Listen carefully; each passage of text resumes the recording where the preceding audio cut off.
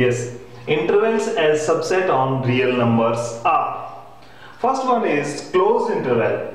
The set of all real numbers x such that a is less than equal to x is less than equal to b is known as closed interval.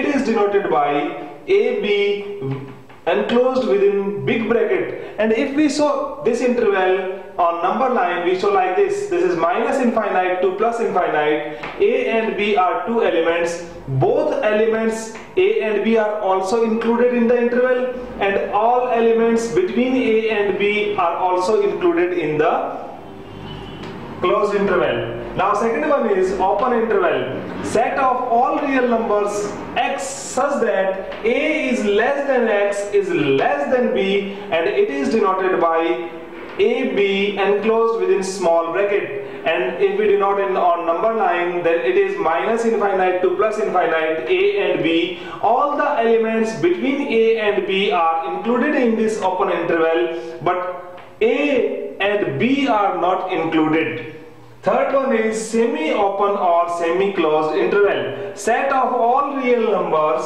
such that either a is less than equal to x is less than b and a is less than x is less than equal to b And it is denoted by a is included and b is not included then in the side of a it is big bracket and inside of b it is in small bracket. Similarly in this side and if we denote it on number line then minus infinite to plus infinite and a is included all the elements between a and b are also included but b is not included. And in this side minus infinite to plus infinite. A is not included but b is included. And we write it like this.